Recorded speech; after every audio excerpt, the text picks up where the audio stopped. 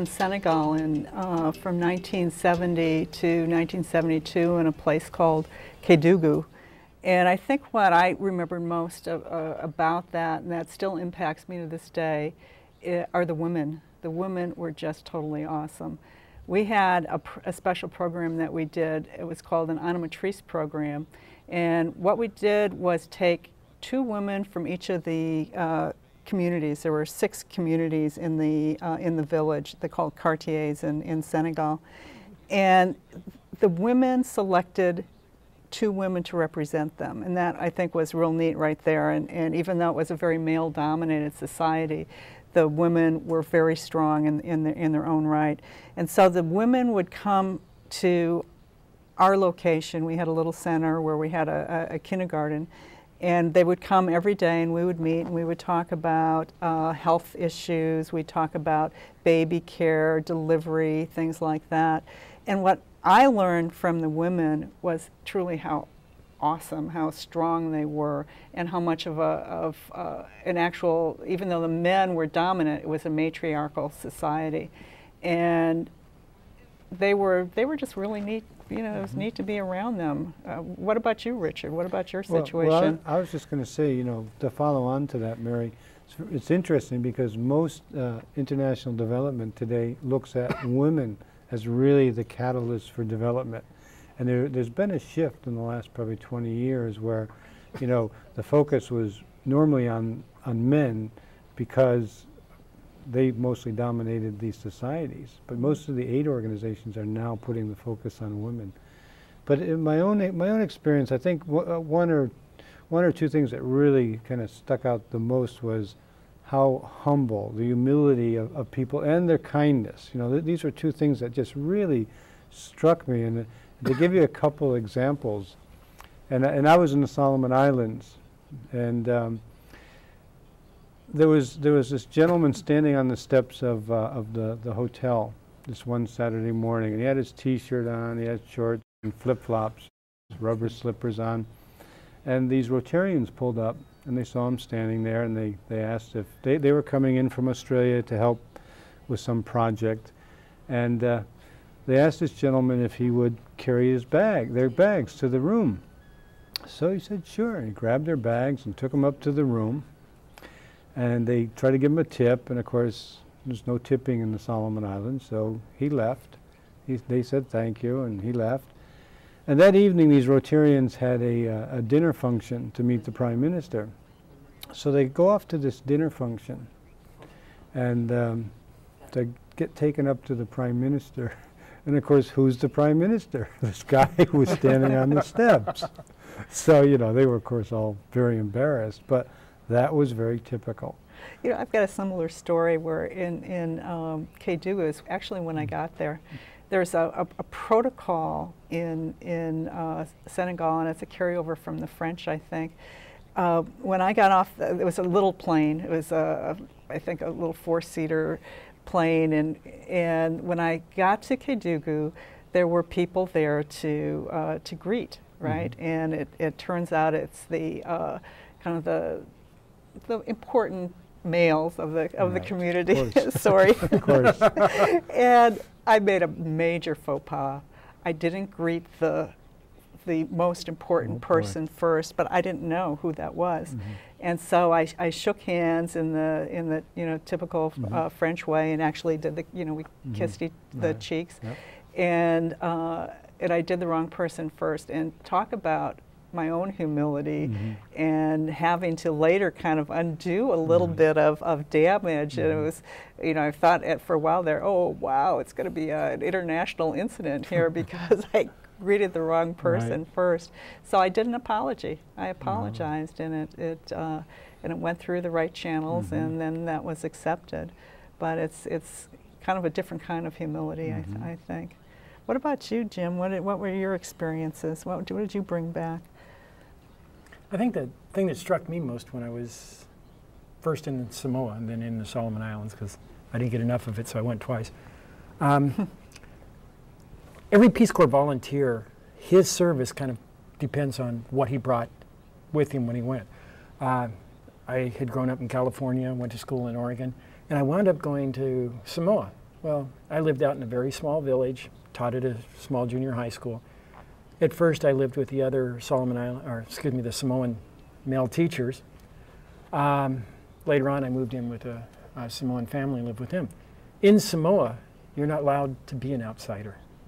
The village sucks you in, and you become one of them. You're not, you're not exempt from being Samoan. So I did that for two years, and I got very used to living inside of a village, being a part of the village. When I went to the Solomon Islands, I went to the Solomon Islands back in 75 and 76, so a long time ago.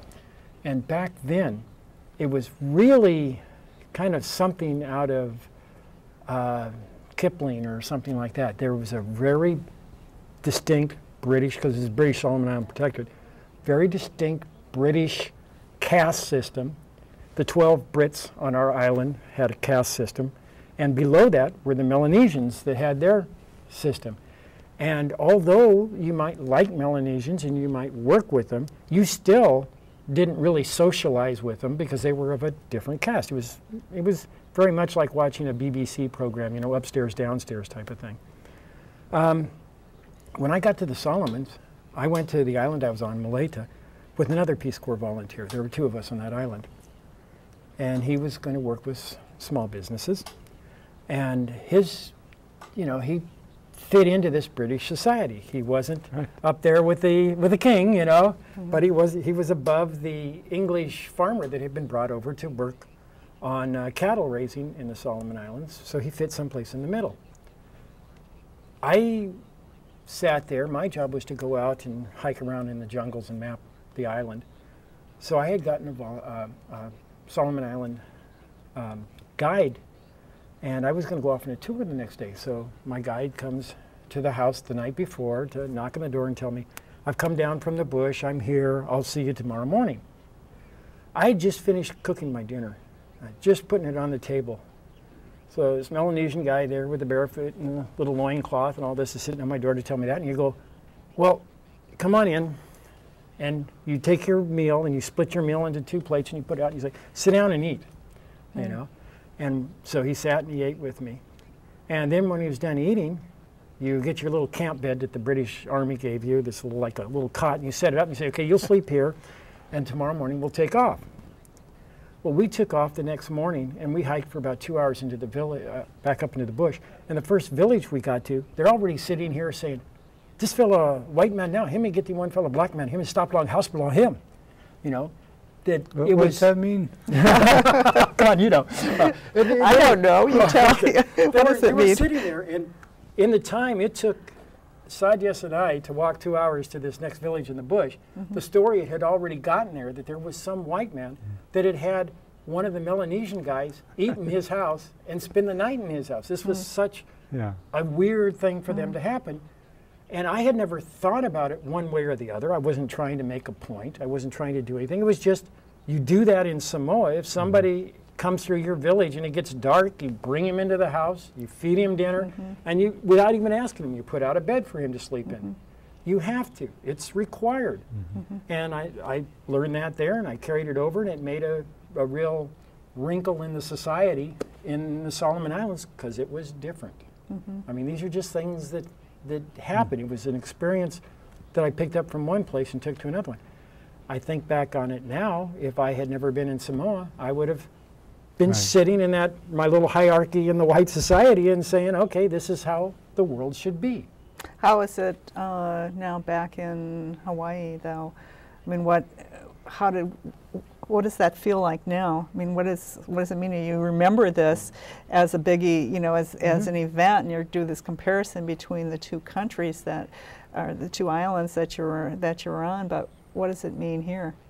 Well, you know, you get you get back, you bring the stuff back with you. I mean, there's Sure. there's two, four years of of experiences, and you don't leave them behind when you come. And it's very, very hard uh, right now. I mean, just- Hawaii is a nice place where we don't have a lot of arbitrary distinctions between classes, maybe, as say England does, or at least England in that time, or the colonials that I knew did, and I think they still do. Um, we don't have as many, but you still see some of it. You still see some of it where the guys on uh, on Bishop Street, you know, that work in the high rises might feel a little bit superior to the guy that's out cutting the grass at the at the local high school. Hmm.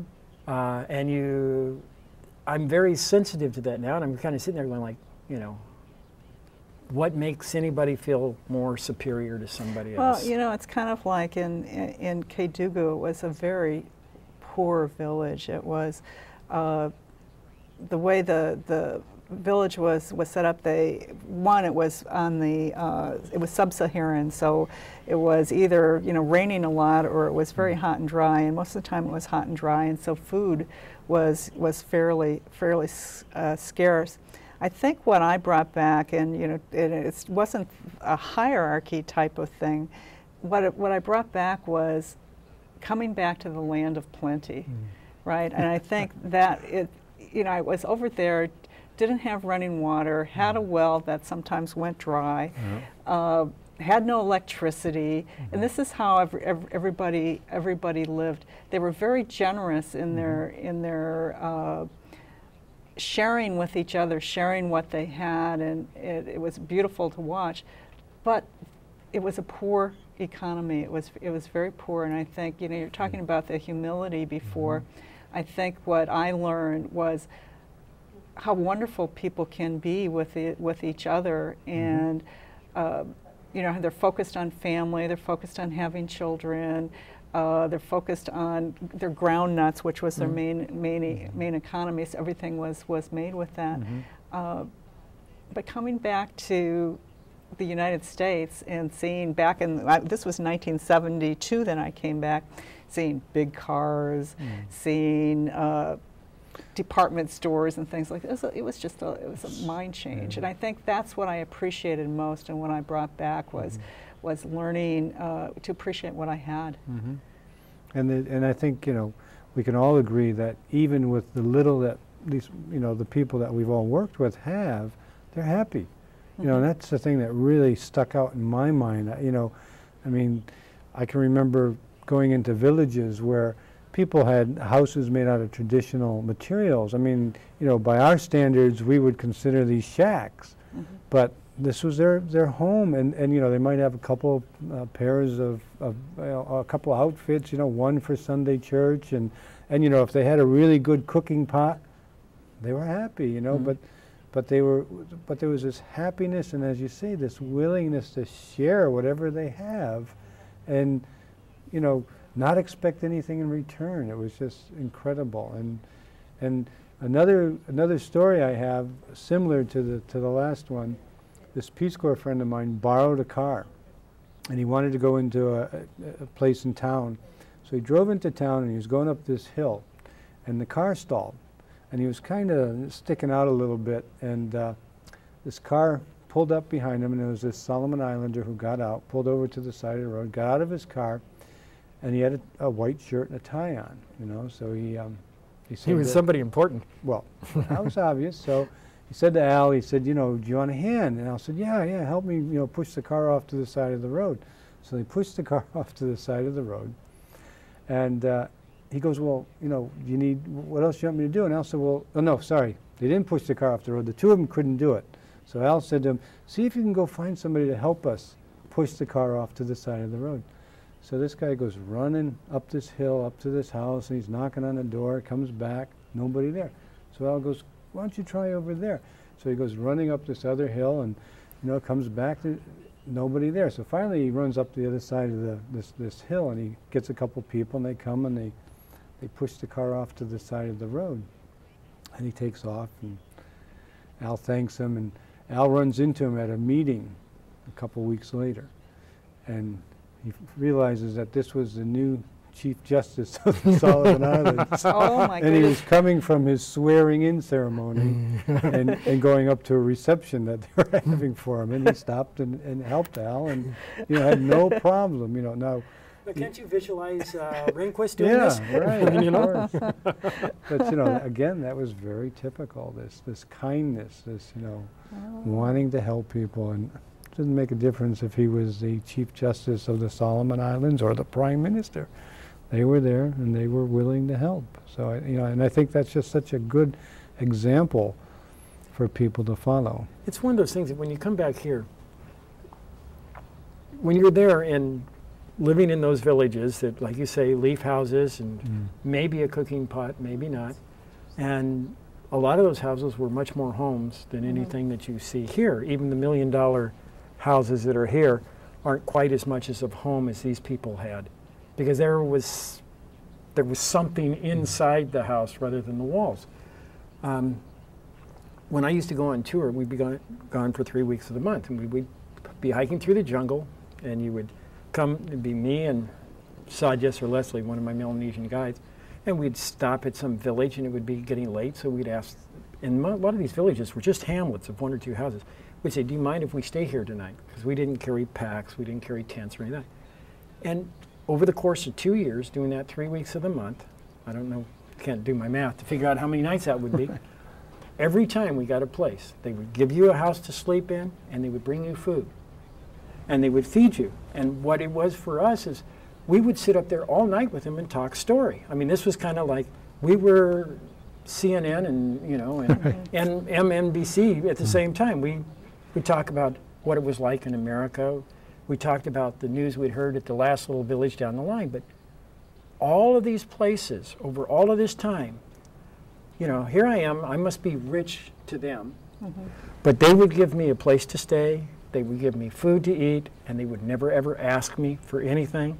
And we'd talk story all night and just be very friendly. And the next day, Sadyas or Leslie and I would get up and walk Go off on. and go on. Yeah. And people were always really happy to see you, mm-hmm. and they really enjoyed your company. And not for any benefit that they were going to get out of it, and they were always sorry to see you go the next morning. Mm-hmm. Mm-hmm. And it was just a real nice feeling. You know, the other thing that I remember most was the music. The music in Kédougou. You know, I look at this drum over here, and and I remember the the, the tom toms. Right, And there's any excuse to to play music and to dance, and so it would be the first drop of rain of the of the year. You always they'd go to the Right. village square and they'd start Right. playing the drums and dancing, and everybody would gather.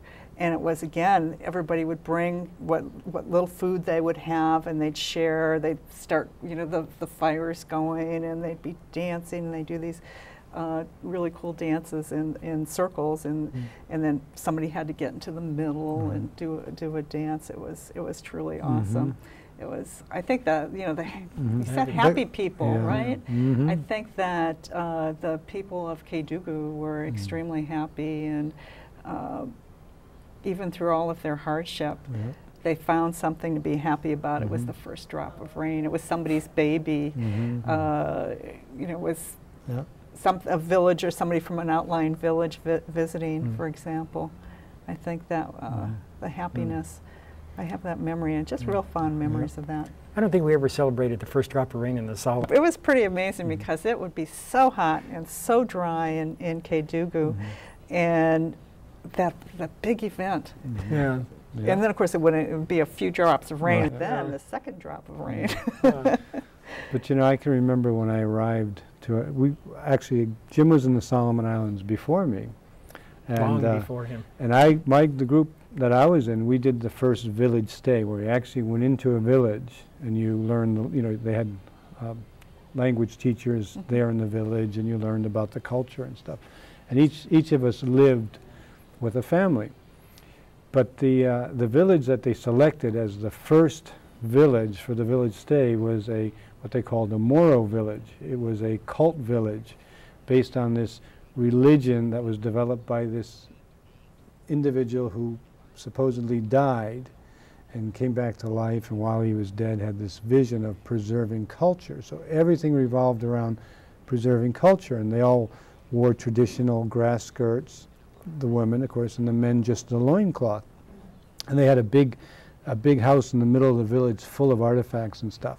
That was one part of the the the, uh, the cult. The other part was the cargo cult side of it, Mm. where in the middle of the village was a big half-built warehouse that they were waiting for the cargo to come back because during World War II they had seen uh, you know soldiers marching up and down the beach and then all of a sudden these ships would arrive and all this stuff would come off and, and there were quite a few cults that revolved around this but this one particular one was kind of interesting because it had the two aspects. It had the, you know, the preserving the, the traditions and culture on one hand, and then it was looking for all the modern cargo to come. But uh, when we arrived in the village, uh, we had to cross this river. And I'll never forget, you know, here are the seven of us trying to cross this river with all these river stones, and we couldn't get across. So they sent the little kids to come across and hold our hands to take us across this river. And we get to the other side, there's 300 villagers, all dressed in traditional clothing.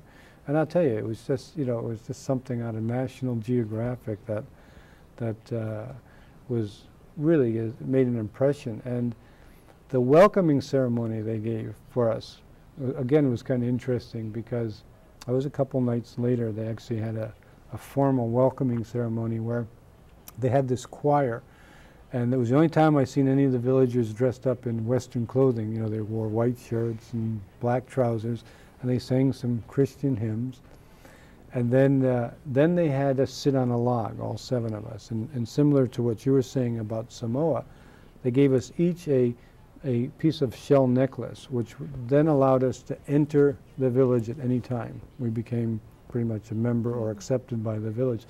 And then all 300 people in the village passed in front of us on their knees, starting with the oldest man to the, ol- to the youngest male, down to, starting with the oldest female down to the youngest, passed in front of us on their knees and shook our hands, and, and that was our welcoming ceremony. Wow, You know. that's a pretty awesome welcome. I tell you. Yeah, it was very, very interesting. And then, of course, living in this village where people were following uh, traditional Traditional practices, Yeah. yeah, that was that was very interesting. Yeah, Oh. because after my Peace Corps service, a long time, I, I brought my wife and son back to go hike through the jungles of Malaita, to see what I had done and uh, show them. And one of the hardest parts is um, we, w- we went with my wife, my one year old son, my uh, landlady at the time, she wanted to go too, and Leslie, one of my guides from the Solomons, he came with us. And so we were hiking back through the jungles again on this six week trip How was it with a one-year-old? That must have been an experience in and of itself. Well, he had a great time because he had one of those little seats, you know, Sure. and, and so Dad or Uncle Leslie carried Sure. him the whole way, you know, and uh, the only uh, food we carried was baby food jars for him, but uh, you know, because we like counted on the people, and we'd stay at the people's houses. But it was funny because it was always hard to leave a village because everybody in the village would line up, and you would have to walk down the line and shake everybody's hands from, like you say, the oldest all the way down to the youngest. And everyone was going ta ta, ta ta, ta ta, ta ta. And I never could figure out, you know, okay, was this Kwaio, Kwara'ae, Ari Ari, Tobaten, Fatalakan, Baegu, Bailele? What language was this? And I finally realized it then must have been from, from when the English would go up and say ta ta, you know. Someplace just in the middle of the bush, out just way out of all perspective. It didn't belong It's sort of there. like in, in Senegal and Kédougou, it doesn't, or any place in that part of Africa, every, everybody would, ça va? ça va? Hey, it's They may not speak any, say anything else, right. but ça va, it's, what- it's what- the, it's the greeting, everything okay? yeah. Yes. Ah, but it, it, it really struck me then, you know, how friendly all these people were. And they, they, like when we get to a village, my son's feet never touched the ground. Uh, we'd get there, and the little kids would come up and they'd pick him up and they'd be gone. And we'd be in the house, and then just about dark, some little kid would come up and deposit him back in the house. And, you know, it was just, a, it was a, it was a really interesting uh, time Mm. shown. My favorite trip used to be to Bellona. It was a, one of the Polynesian islands in the Solomon Islands, and it was quite a quite a trip. If you went by boat, it was a couple days trip. If you went by plane, it was two three hours. But I'll never forget the the family I stayed with. I stayed with the the, the local nurse and her husband, and every morning it was lobster, crayfish, of course, you know, for breakfast. And you know, I think I just mentioned that I liked, you know, crayfish or, or the local lobster. And every morning there was a, a nice one or two lobsters boiled up for breakfast for me. So, so you know, it was it was nice. Um, You know, in, in um, Senegal and Kédougou, the, you eat out of a communal mhm. bowl, so you have, uh, it's usually made out of a, a gourd, and you would have rice or a, a grain and, and then possibly fish or some type of, of meat. And when you would eat with a, you know, with, with a family, you'd be the kind of the, the guest, right, the mm-hmm. honored guest, Right. and so they'd be shoving food, you know, your, the, the your side? yeah, to my side, and I of course would look at the fish eyes Right. or whatever it was and try to shove it back, or, or just eat it. and it was, uh, it was, it was. That was a cool experience. That was just the, mm-hmm. again, the just all the, the sharing. So it was really fun talking about our mm-hmm. shared experiences. So anyway, Hey, well, Hey. thanks. Thank you again for joining us for another segment of Bring the World Home, a re- production of the Return Peace Corps Volunteers of Hawaii. Today's program, we've had the chance to see a variety of the similarities that exist in many different cultures around the world. We invite those of you who are interested in finding out more about Peace Corps service to contact the Peace Corps through your local telephone, online at www.peacecorps.gov, or through this program at contact information that you see at the end of your show. Thank you for joining us.